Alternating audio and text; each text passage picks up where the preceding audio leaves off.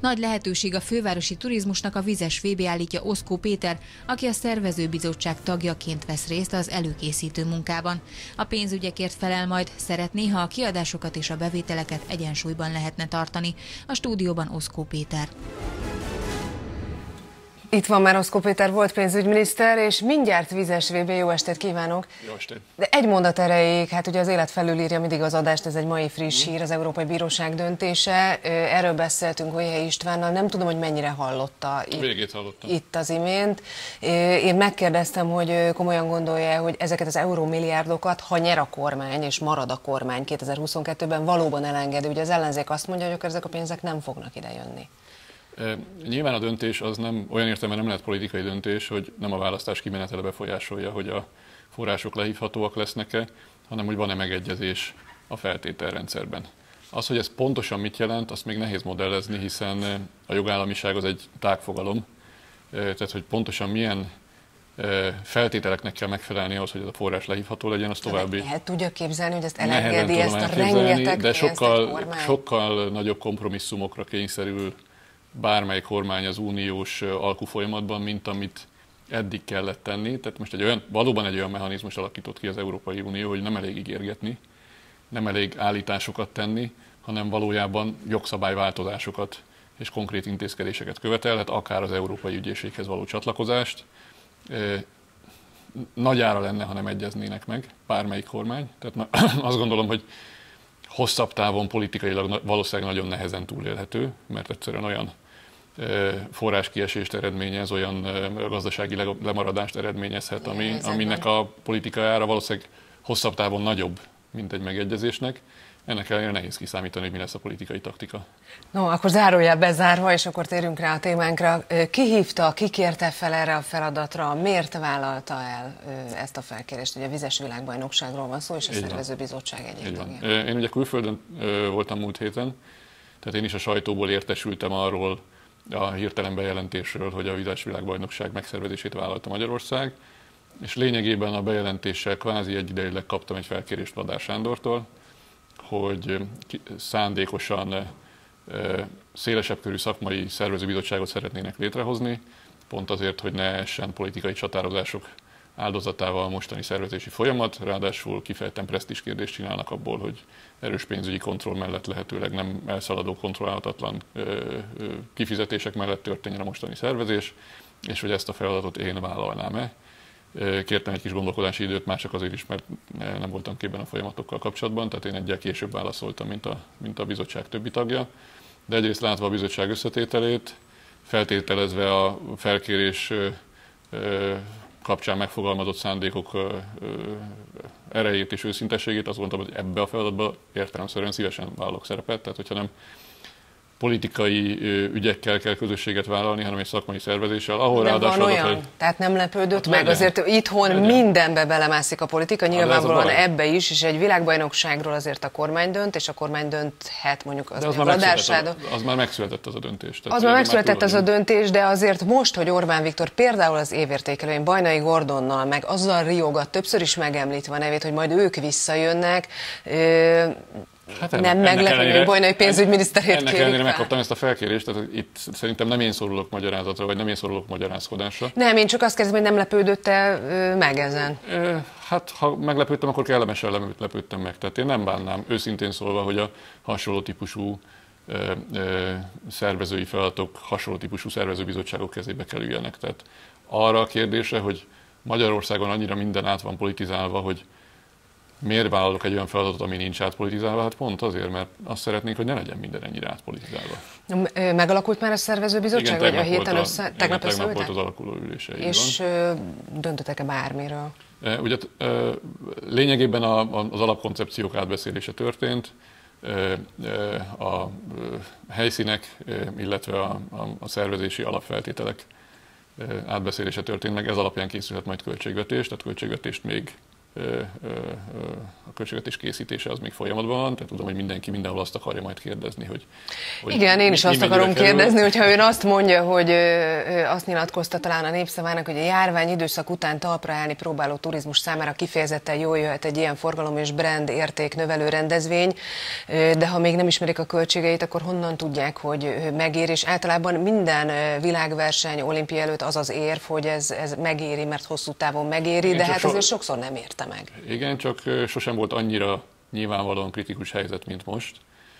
Tehát sose volt olyan helyzetben a főváros, hogy egyébként egy korábbi években kifejezetten turisztikailag látogatott, népszerű célpont egyszerűen elvesztette a látogatóközönségét két év alatt, amit a lehető leggyorsabban vissza kell hozni ahhoz, hogy, hogy, hogy ez a seb ez, ez begyógyulhasson. Tehát kevés olyan pillanat van, amikor ennyire nyilvánvaló, hogy egy ilyen rendezvény az segíthet illetve az az elvi döntés megszületett, hogy lesz egy elfogadott költségvetés, és az annyi, amennyi, az nem változhat. Tehát, hogy ez, ez, ez volt már erre példa, volt hogyha 2017-re gondolunk, az a vizes VB nem kis kockázatokkal. Igen, ha ez a feltétel nem teljesül, akkor én leszek az első, aki felállok, és jelzem, hogy nem ezt vállaltam. Tehát, hogy én nem azért vállaltam ezt a szerepet, hogy elhárítsak esetleges támadásokat, hanem azért, hogy ne legyen ok a támadásokra, ne legyen ok a kritikára. Tehát meg tudja ezt akadályozni? Ugye ott nem volt nap, hogy ne derült volna ki, hogy na ennyivel lesz több, na még több lesz, na még olyan több módon, lesz. Olyan módon tudom, mondjuk úgy fogalmazok, hogy olyan tudok, módon tudok nyomást gyakorolni, hogy én lehetek az első, aki jelzem, hogyha probléma van. De mondom, a mostani hozzáállás az, hogy el kell, hogy készüljön egy költségvetés, abban korrektül kell, hogy beárazva legyen minden, ezt nyilván mi végig tudjuk nézni, kontrollálni tudjuk, és aztán az annyiba kerül, amennyi el lett fogadva, bárki, aki esetleg rosszul számolta a saját ajánlatadását, és, és úgy gondolja, hogy később mégsem, mégsem olyan áron tud szállítani, akkor is annyiért kell szállítani, nincs, nincs módosítás. Tehát meg, tud, meg tudja ezt akadályozni, ez vagy fel. Egy kérdése, példát mondok persze, például, tehát, ami hirtelen eszembe jutott a vizes vébővel kapcsolatban, volt egy három, ez egy híres botrány, volt három és fél perces videó, az eseményről papíron 230 millió forintért, három és fél perc. Akkor ezek kizárva. Hát feltűnne ez a tétel a költségvetésben nekem is, hogyha valaki ilyet tervezne. Jó, a költségvetés állja ezt a cechet? Ugye a fővárossal nem egyeztettek előtte, azóta járt már itt az egyenes beszédben több ö, fővárosi politikus is kérdeztem őket, hogy mit ró, milyen terhet ró ez Budapestre, és ö, azt mondták, hogy bizony ró sok terhet, de hát ö, nyilvánvalóan a kormánynak kell a költségeket biztosítani erről. Magára a fővárosra, az önkormányzatra nem ró terheket, ugye konkrétan fővárosi tulajdonban álló cégek számára jelenthet ez plusz tevékenységet, plusz takarítás, plusz közlekedés, járat, gyakorítás, stb. stb. De én úgy tudom, mondom, még nincs elfogadott költségvetés, tehát hogy nem akarok olyat mondani, amit mondjuk túllépi a kompetenciámat, de én úgy tudom, hogy ezek betervezésre kerülnek a költségvetésbe. Tehát ez a, ez a, ez a rendezvénynek a költségvetése lesz, nem a fővárosnak kell állni. Utolsó dolog ezzel kapcsolatban, mert aztán egy rövid reklám erejéig elköszönünk, de utána még maradjon velünk. Nagyon rövid az idő, fel lehet készülni ennyi idő alatt? Hát nem mondom, hogy valószínűleg ez a legnagyobb kihívás egyébként ebben a folyamatban. Én azt gondolom, hogy megéri ez a kockázat. Egyébként tavaly rendezett úszó Európa bajnokságot az ország, illetve Budapest 2017-ben volt vizes VB, annak voltak negatív tapasztalatai is, de negatív tapasztalatokat is lehet hasznosítani, és lehet tudni, hogy mi az, amit el kell kerülni. Ráadásul most beruházási igény nincsen, tehát meg, kizárólag meglévő létesítményeket használ a rendezvény. Nyilván nagyon komoly munka, nagyon nagy kihívás, de egyébként meg jó alkupozíció van az ország, tehát most nem arról van szó, hogy három-négy város versengedi a rendezvényén, hanem a finálnak azt kell elfogadni, amit Budapest nyújtani tud. Ezt most érdemes megtenni. Akkor egyelőre köszönöm, most egy rövid reklám, és aztán folytatjuk, már is jövünk. Folytatjuk Oszkó Péterrel, volt pénzügyminiszterrel. Ugye a vizes VB-nél hagytuk abba, de hát nagyjából mindent megbeszéltük. És mielőtt a gazdasági helyzetről kérdezném, még egy dolog. Hétfőn bejelentette az ellenzék, hogy megvan a közös államfő jelöltjük, lesz, mégpedig Róna Péter. Ő mit szól ehhez a döntéshez? Hát nem tudom, hogy illendő-e, hogyha én véleményezem, hát a hat párt az ebbe egyezett meg, már pedig most az ellenzék, ellenzéki összefogást ők képviselik az én ízlésemhez közelebb állt volna a, a, az első bejelentése Márkizai Péternek. Na nem véletlen kérdeztem én ezt meg. Egyrészt azért, mert ugye rögtön érték kritikák Simor Andrástól, illetve Békesi László volt pénzügyminisztertől. Másodszorban pedig azért, mert Róna Péter megnevezett hét szemét. Hát ez régen volt, ez 2012 Annó így van, a devizahitelezés problémájáért erős szavakkal Igen, illette önöket. volt, tehát hogy Róna Péterrel egyébként egész normális, joviális szakmai kapcsolatban voltunk sokáig, nem mindenben értettünk egyet, de beszélő viszonyban voltunk. Aztán miközben ő az LMP egy fontos szereplője lett, aközben Bajnai Gordon bejelentette, hogy elindítja az együttmozgalmat és, és politikai aktivitást kezd. És a bejelentést követően nem sokkal hirtelen Róna Péter közölte, hogy az egész devizahiteles tragédiája Bajnai Gordon és Oszkó Péter és még néhány ember felelős, aki egyébként ebben a mozgalomban részt vett. Tehát szerintem viszonylag egyértelműek voltak ennek a bejelentésnek a motivációi, nem volt elegáns és értelmetlen is volt. Hát én akkor lettem pénzügyminiszter, amikor már devizahitelezés nem volt. Egyébként rendeletileg is megtiltottuk, és megtettünk mindent, hogy a, a, a, a banki ügyfélkezelések azok a lehető legjobban korlátok közé legyenek szorítva, tehát hogy pont minket megnevezni, ehhez kevés szakmai érvet lehetett volna felsorakoztatni, és valóban egy felindult bejelentése volt volna Péternek. Tehát akkor mondjuk úgy, hogy a mi kapcsolatunk nem javult, vagy nem épült tovább, de mondjuk ez 2012-ben volt, tehát én ezen túlléptem. A mostani véleményemnek, ez tíz évvel ezelőtt volt, ennek se, ehhez semmi köze. Iványi Gábornak a parlamenti beszéde az, azt gondolom, hogy az ellenzéki politikát jóval nagyobb arányban tudta volna segíteni, még ha csak egy 15 perces megszólási lehetőséget is kap valaki köztársasági elnök jelöltként. Tehát az én véleményem elsősorban ezen alapul, de hát a hat párt ebben egyezett, egyezett meg, ezt, ezt mindenkinek tiszteletben kell tartania.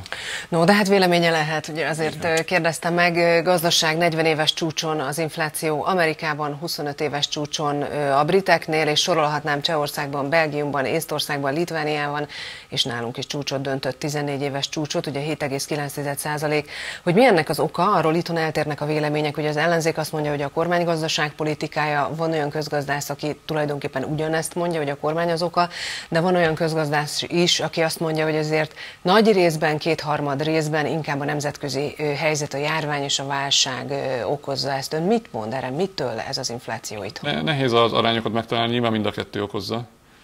Azért azt hozzá kell tenni, hogy a kormány választások előtti osztogatása az nem januárban történt, hanem valójában februártól indult el, tehát annak a hatása, a, ami a nyugdíjkiegészítés, személyjövedelem visszatérítés és ebből esetleg fakaz, fakadó plusz fogyasztás, az még nem is jelenik meg a januári inflációs adatokban, tehát ez későbbi inflációs adatokban fog megjelenni.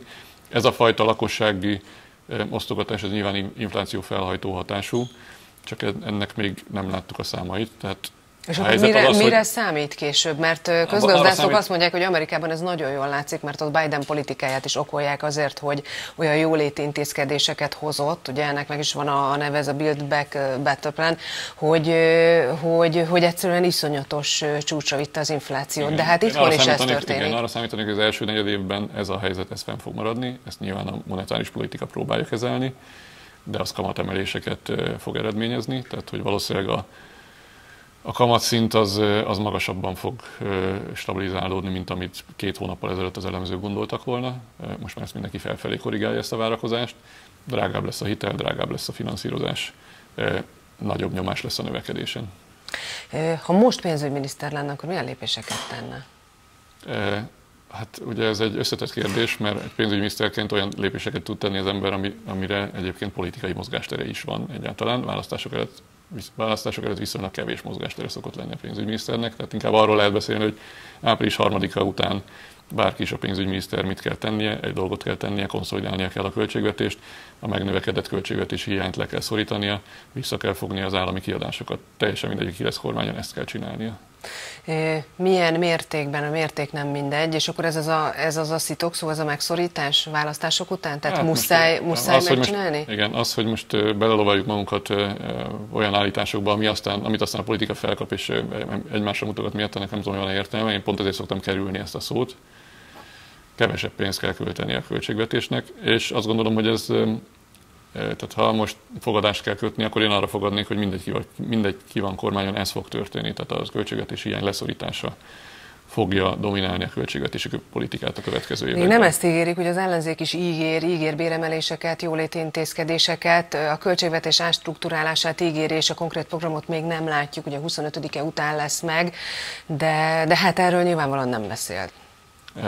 Igen, de tehát az ellenzék is úgy tud ígérni, hogy végső soron csak a költségvetésben elkölthető pénzek elosztásának a módján tud változtatni. Tehát mondhatja azt, hogy nem erre költünk, hanem arra. Uh-huh. De tényleg nem lesz választás. Egyébként a választások után, ha mondjuk kormányváltás lenne, akkor hogyan reagálnának a piacok? Az ellenzék azt mondja, hogy hát megnyugodnának, mert hogy az Orbán kormányban most már semmi bizalma nincs a nemzetközi piacoknak, de egy választások után hat párt nem szülhet nagyobb bizonytalanságot esetleg a piacok irányából? Szerintem türelmi idő biztos, hogy lesz, bármi történik. Akár az Orbán kormány marad, akár új kormány áll fel, mindenképpen lesz egy kivárás, hogy milyen intézkedésekre számíthat tőle a, a, a gazdaság, a nemzetközi piacok. Látni kell majd, hogy a, a kiadások azok elszaladnak, vagy kontroll alatt maradnak, megvan-e a kormányozhatóság, megvan-e a, a, a, a határozott intézkedési irány, és szerintem az alapján fognak az első reakciók születni. Én nem számítanék önmagában a választási eredménytől nagy felfordulásra egyik vagy másik irányban sem. Egyébként gazdaságilag azért egy erős kényszerpálya lesz, úgyhogy, úgyhogy szerintem azt fogják értékelni a piacok, hogy ezt megérti-e az a kormány, ami, két, ami április harmadika után feláll.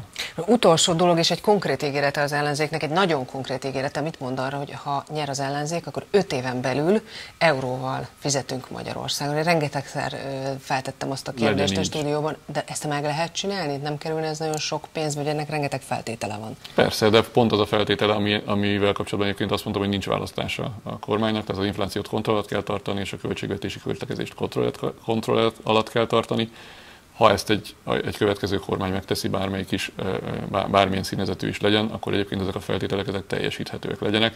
Öt éven ezt belül? Én Róna Pétert megkérdeztem, érdekes, hogy azt mondta, hogy ezt nem lehet megcsinálni öt éven belül.